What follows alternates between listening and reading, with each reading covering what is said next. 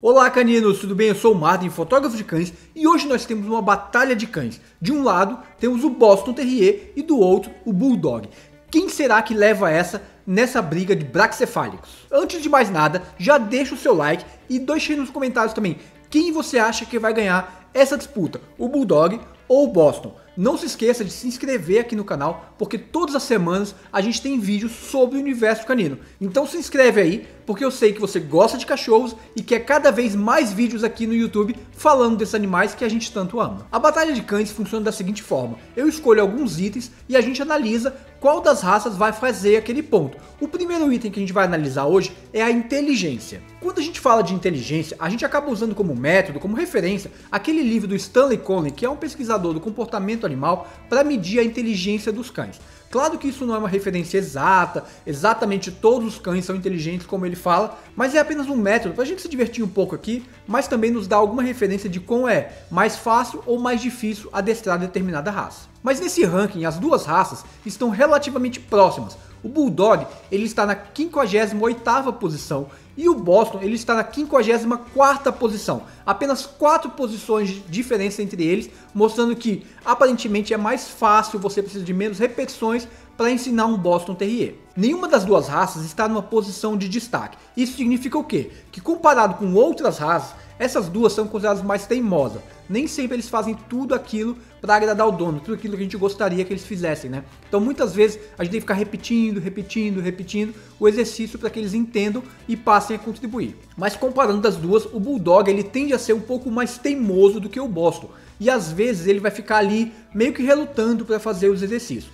Geralmente você tem que fazer de 40 a 80 repetições com o Bulldog para que ele fixe o exercício e ele aprenda aquilo. Já o Boston vai oscilar ali entre 25 e 40 repetições. Os dois casos são bastante repetições, mas eles são capazes de aprender. E esse ranking não define qual cachorro é de fato capaz ou não de aprender. Ele apenas classifica e mostra uma tendência de entender mais facilmente os exercícios. Então, por conta disso, o primeiro ponto vai para o Boston Terrier.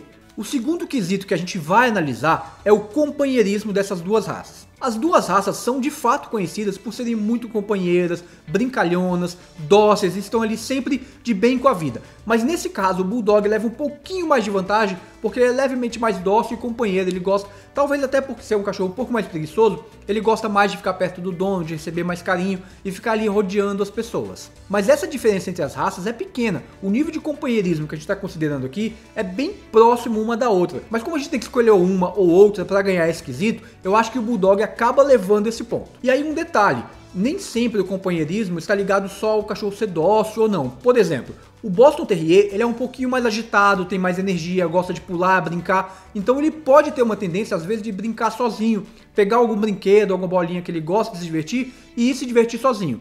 Já o Bulldog ele não faz muito isso, ele vai depender mais da nossa companhia para estimulá-lo, justamente porque ele é um cão um pouco mais preguiçoso.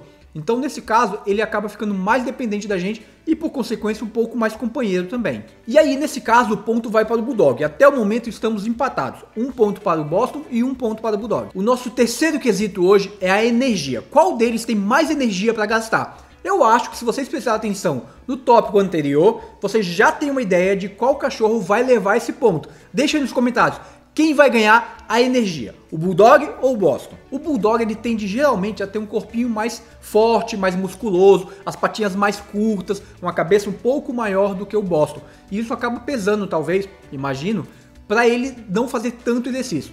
Claro que as duas raças são braxcefálicas, e isso é importante lembrar. Nenhum dos dois é um cão preparado para exercício, para correr e fazer uma maratona. De forma alguma, são cães que precisam de atenção justamente pela dificuldade de respiração.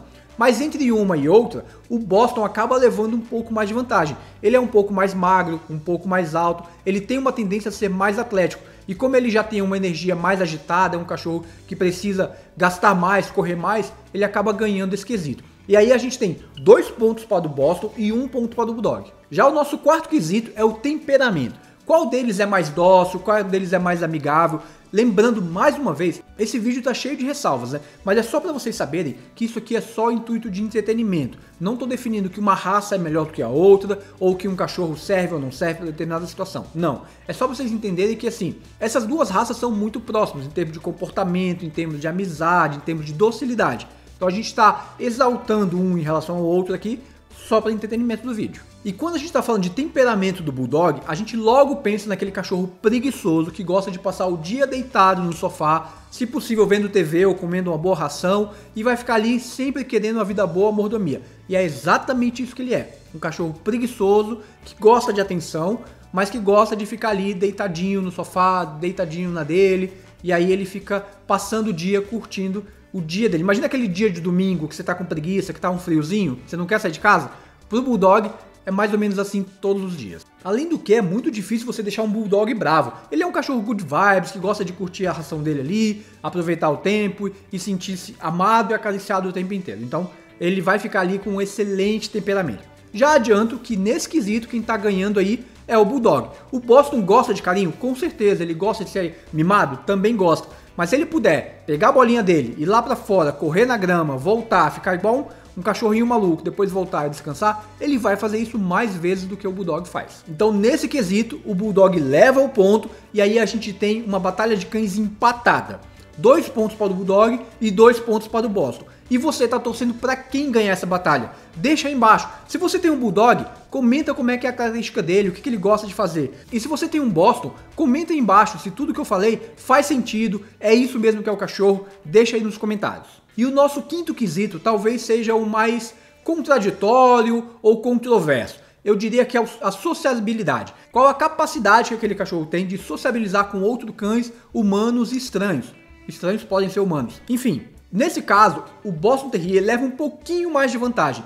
Ele é um cachorro menos desconfiado do que o Bulldog é. O Bulldog é um cachorro super dócil.